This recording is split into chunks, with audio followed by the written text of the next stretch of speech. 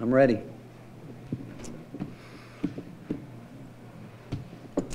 Coach, fair to say that's an example of your, your team winning a game when maybe they didn't have, you know, their, their best performance, just kind of gutting it out? I do think that, and I think we won a game against a team that I have as re- much respect for in the league because Andy does a, a great job. His teams if they play hard, uh, they execute, uh, they do a great job of attacking everything downhill, getting to the basket, and uh, I thought in the first half we were not. Uh, I thought both teams played hard the entire time, but I thought they had more emotion uh, in the way they were playing. You could feel, you can tell when your team is a little uptight uh, when they're not talking to each other. Uh, you know, and I thought that uh, they, on the other hand, were talkative, doing what they need to do. The second half, we flipped it around, and then our defense. Uh, Coming down the stretch in the last what four four and a half minutes was really really good for us. How big of a lesson is tonight where you need these kind of performances down the stretch when it, there's a game when there's not a ton of energy, when, when there's a lot to play for? Well, it's February. You know, it's February, and uh, every game's going to be a grind. If, if you if you expect to be a good team that finishes the season well, you, you're going to have to be able to find ways when it's not going. I mean, you know, we again missed some free throws. Uh, but uh, got out, you know, gave up 20 offensive rebounds. But that's a credit to, to them. They, they, they do a great job driving the ball. We have to rotate over with our big guy and, and our guards, uh, you know, having to take on guys like Saiz, who's a terrific player. And But uh, coming down the stretch, I thought Grant did a great job. We started a couple times trapping the ball, then going with a little soft trap, and then letting him pretty much switch him where he had to play the point guard, and he stayed down and had a couple blocks. and some good, you know, good, I thought Robert Hubbs' uh, play when he went to the baseline and saved it to Grant was a big play. After we called a timeout, uh, we didn't really get what we wanted, and Lamonte made a terrific play where he drove and kicked to and That was a big play in the game, and uh, but the difference really was we were much better in the last little bit of the game with, with our defense. Rick, you, you talked about Hubbs making that play at the end. Uh, you, you mentioned Monday him kind of fighting through some stuff. I guess what can you say about his effort, kind of bouncing back tonight, and He's- specifically that play as well? He's struggling. I mean, uh, he has been struggling, obviously, and you never know it. Like I told him, the difference in him now and a year ago, he would have said it, is what it is. But he's trying so hard to fight through it, and then, with all that, and he did again. Didn't do a lot in practice yesterday, a little bit more than he has been doing. But then I get a text early this morning that he feels like he's got the flu, and uh, and I thought that he fought through that tonight. Uh, and not that he does have the flu, but uh, but they he wasn't feeling well, and and he's uh, he's, he's trying, and that's all we can ask him to do. Rick, you, um, you touched on it, but there's less than a minute left, and there's, you call a timeout with, I guess, six seconds left on the clock. You're up by two, Bowden's three. How big of a shot do you think that was to score right there? Oh, it's big because you know they have the ability to. I mean, you saw they can make some. They got some guys that can raise up on you even with good defense and knock down threes, or they get to the free throw line and, and, you- and you look at them. They were 13 for 16 from the free throw line, so you don't want to put them there. And uh, like I said, we were looking to do something with Grant and, and Robert across the baseline, but and Lou waited, but he got got to one Lamonte, and Lamonte made a terrific play. But that was that was as big a play as there was in the game for us, certainly offensively.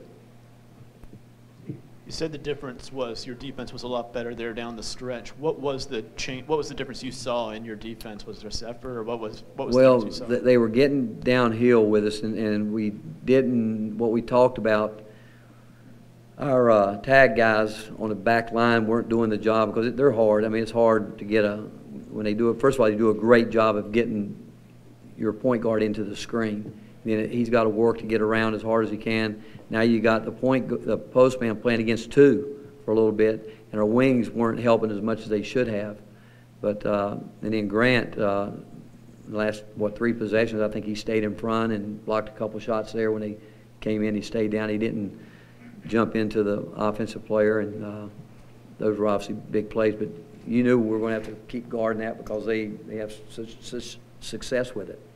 Yeah, following up on that, what's it mean to have a freshman who can make plays like that down the stretch defensively?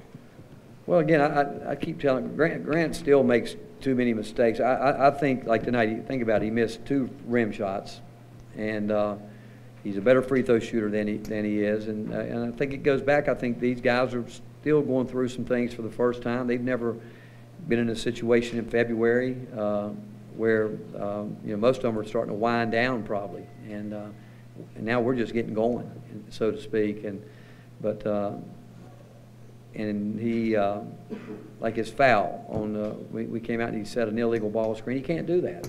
You know, he, he can't do it. And I think where he's still young-minded at times is um, when his offense isn't going well, he misses shots he thinks he should make, and then he uh, lets it affect him on the other end, and, and he can't do that. He's got to play from the other end. For, we all do. Can't we can't let what's happening on the offensive end affect us. Coach, could you talk about uh, Lamonte's play in the second half? He, he seemed to be running the offense a bit, um, hit a big three there, just as uh, Jordan did. He did, but uh, again, I thought the second half he was much better in the second half. He, he threw, he had two turnovers in the first half where trying to feed the post, he was trying to do the right thing, but they were just bad decisions. And uh, second half, he, uh, you know, he still didn't attack the one-three-one the way we uh, wanted him to, to you know, to make the pass down the sideline. But uh, I thought his composure and I thought the way he handled things, but more importantly is what he did on the defensive end, trying to fight that ball screen, uh, trying to do his job the best he could. And it's not an easy thing to do. And uh, but I thought his composure and I thought he was really locked in. I thought he was involved in the game. And I really, the play he made to Bowden might have been maybe the play of the game, really, from an offensive standpoint. It looked like uh, you know, Bowden had maybe kind of drifted out of the game a little bit offensively for a while, misses those two free throws, but that didn't really seem to phase him. He kind of got back up and wanted the ball, and seemed like he wanted to take some of those shots late. As he kind of got that, that kind of quiet character about him where he wants the Yeah, ball. he's, he's a little bit cold-blooded in the fact that he's got a short memory, which I think good players do. I think good players have real short memories, and I know one thing, uh, he's one guy we don't have to try to talk into shooting the ball. You know, Shembari's still not shooting it with confidence, you know. Uh, you got, you want guys that will shoot it with confidence, and, and, uh, Jordan will do that. I mean, he's got that attitude, he can't make the next one if he doesn't shoot it. And, uh, but he's also, he's drawn the other team's oftentimes best perimeter uh, offensive player now. So he's having to work harder than he's ever worked defensively. He gave up one in the first half, a three where we fell asleep. He, felt, he, he just relaxed for a second. And they they burned him on it, but uh, um, I, you know, the coaches felt like he needed to come out of the game. And I asked him, I said, "How are you?" And he gave me a thumbs up, and you know, he stayed in the game and, and finished it.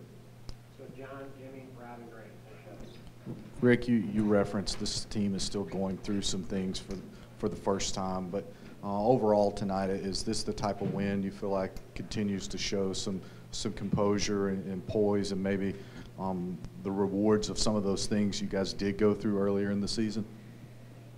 You know, I'd like to think so, you know, and we kept telling them during the game, and we tell them all the time, it's not supposed to be easy. It wouldn't, it wouldn't be any fun if it was real easy. Sometimes you wish it was easy, but it's, it's not. But the fact is, you're going to have to win some tough games, and uh, that's what, I mean, we're going to have the same kind of battle on our hands here Saturday. Uh, and, but I just didn't, um, I, we could tell the first half that we were back a little bit because, uh, maybe they felt the pressure because we lost Saturday that we had we had to win this game. And all you have to do is execute the game plan. If you win, you win. If you don't, you don't. As long as you know you've done what you were that, that we needed to do. And uh, but I, I will say this: I think the schedule that we've played all year has helped these guys get to this point. And now we just got to see if we can keep building on it. Rick, uh, comparing down the stretch this game versus Mississippi State, was it better defense? Was it you were more poised?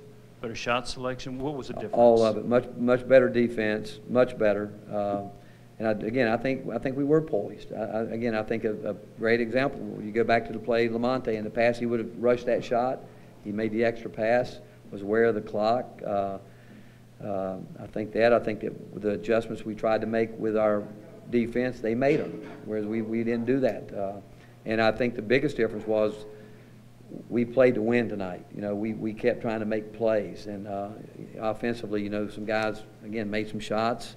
Uh, you know, we went to our little movement offense, and Robert made two terrific plays off some pin downs and where he got turned, he got it turned up going downhill and made, uh, I think he made a left-handed shot. I think one time was a terrific shot. But uh, just that, starting to play through him or Grant on the backside with him or, or Grant or whoever's on the other side with him. Uh, but we, we did execute our offense there in the last part, part of the game. So I think it was a little bit of all of it uh, where we didn't do that. You know, again, it's almost like we started the game. The way we start, ended the game there is the way we kind of started this game, kind of just back on our heels, like, you know, what's going to happen here as opposed to going at it like we've got to make something happen. Coach, just defensively, what were you able to change up in those last five or six minutes to sort of cut off all the dribble penetration success they were having? Well, they were hurting us early um, because our wing on the ball side wasn't doing his job enough. He was just kind of in no man's land. He wasn't defending the three, wasn't stopping the split. Um, the back guy, the same thing. We are trying the play they were running. We are going to try to deny the reversal if we could. So that means the guy in the corner had to be in the lane. He was outside the lane. So the two wings weren't doing their job as much as they should have. Uh, and uh, getting clipped on the ball because they, they do a good job clipping you, uh, you know, where they set the screen and make you guard it. And I thought our post guys, so we trapped it. We trapped it uh, one time and, and, and created a problem. And then we started soft trapping it, and then it ended up switching a little bit where, where our post guy was really ending up, you know, leveling the ball off, squaring the ball off. But that's where we gave up some offensive rebounds because our point guard was having to take on Saiz, and that, that's not a that's not a contest. But uh, uh, Grant's blocks here at the end, we're think about it, they still got it at the rim, but uh, now he's instead of shooting over a guard, he's shooting over a guy with a 6'10 wingspan, and Grant did a great job of not fouling. What, what is it about Grant that makes him productive in the second half? It seems like a lot of games this year he's had, you know, double-digit points in the second half. You know, I, I don't know. I, I mean, uh, I still I think there's so much more for Grant. He can be so much better, but I think it goes back to he still doesn't. Uh, I think having a, an appreciation for how hard it is to be a high level player every single night. Uh, and it goes with preparation every day in practice. And like I was after him a little bit in practice the last two days because uh, he's, he's important, you know, and him standing in the game like he, he can't set a ball. He can't, he should never be illegal on the ball screen. Those, those kind of plays. And, uh, you know, and, and you know he can score the ball, but he, he let two missed layups affect him. Then he had a, a big finish on the other end. But I, I just think it goes back to him understanding how good he can be. But he, to do it, he's got to demand it from himself more often than he, than he does. He, when he wasn't defensively, uh, we took him out early because, again, he didn't help in transition, which we talked about that. And then he uh, missed layup and he uh, didn't get back. Thank you, Coach. All right, thank you, guys.